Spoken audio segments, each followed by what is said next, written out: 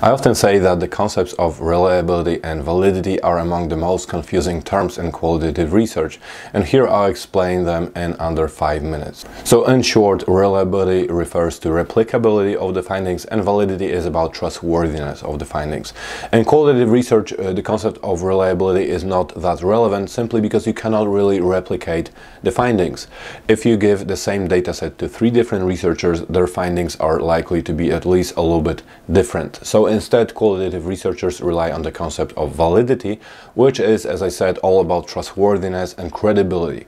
So uh, whether I can trust your findings, whether I can trust that what you found, what you think you found, is actually what you found. Can I trust you that either deliberately or not, you did not impose your views onto your participants, either when you were developing your interview questions or conducting the interview or maybe at the process of data analysis that you did not impose your expectations and and what you found is more about what you thought or hoped to find than what your participants actually meant. So in other words, uh, validity in qualitative research is essentially about reducing different forms of bias. And uh, although there are different terminologies and different templates for this, I like uh, Robson's uh, six strategies for uh, reducing bias and increasing validity, to which I also like to add my own strategy. I'll do that at the end of this video. So let's start with prolonged involvement, which refers to the length of your involvement in the study. It may be granted, for example, by the duration of the study or uh, by you belonging to the community that you're studying. And being a member of this community or even being a friend to one of your participants may be a great advantage to your study and it increases the level of trust between you and the participants. And once this level of trust is higher, the possibility that the findings are valid is also higher because this means that the participants were uh, more likely to be, for example, honest and straightforward when they were talking to you. Another concept is triangulation. I'm sure you at least heard this term uh, before is quite a big one. There are different forms of triangulation as well. So there could be triangulation of data. So you're uh, collecting data from different sources, for example, from interviews, focus groups, and, and diaries or observations. There can be methodological uh, triangulation. So you're combining quantitative and qualitative methods in a, in a mixed, mixed methods research study. Or there could be triangulation of theory at the stage of data analysis. So you're bringing, you're drawing from different theories when you're uh, looking at your own findings.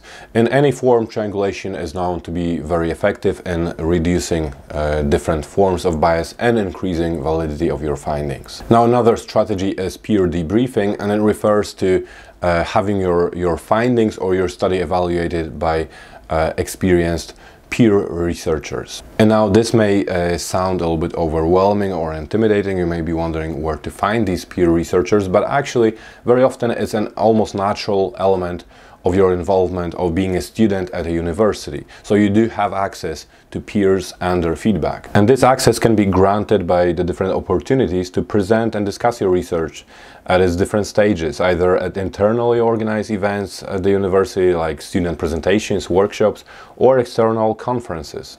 These events will help you assess the study from a more objective and critical perspective and recognize and address its limitations. So it's a very, very valuable and effective form of, uh, of reducing uh, researcher bias and increasing validity of your findings. Now another strategy, member checking, may also take uh, a variety of different forms, but essentially it's about testing your findings with your participants.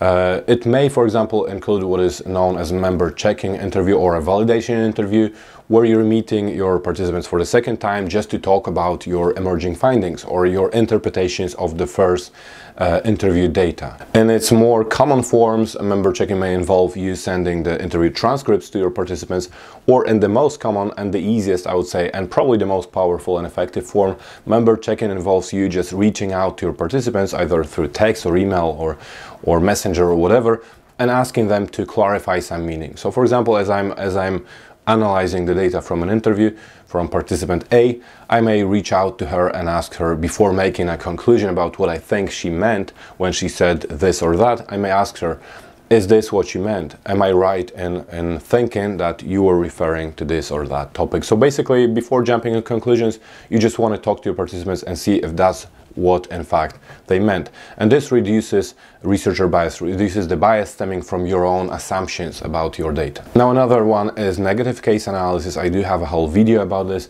but essentially negative case analysis is about analyzing uh, the cases or the participants uh, that do not really match the emerging trend, the trend that starts to, or pattern that starts to emerge and run through the remaining data. So whenever you see something like that, do not panic, do not try to hide it or conceal it because actually exploring these differences will help your study. It's very common that uh, novice researchers feel like it will damage their, uh, destroy their theory or their findings Whereas in, in practice, it's good to know and understand these extreme or negative cases. And very often, by understanding this person who is so much different from the rest of participants, we actually gain a better understanding of why the rest of the participants are the same or similar. So definitely worth exploring these negative uh, or extreme cases. And the final strategy on Robson's list is uh, called audit trail and it refers to keeping record of all the uh, research related activities.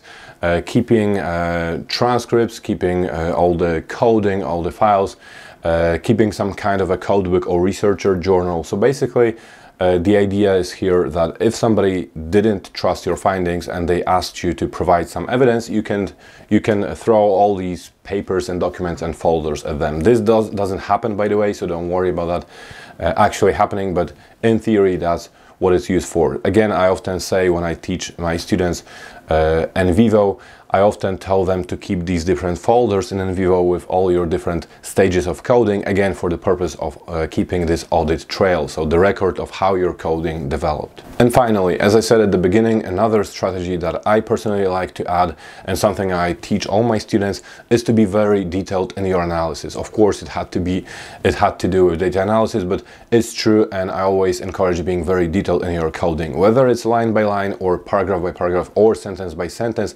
The point point is that you want to be detailed and you want your codes to be descriptive.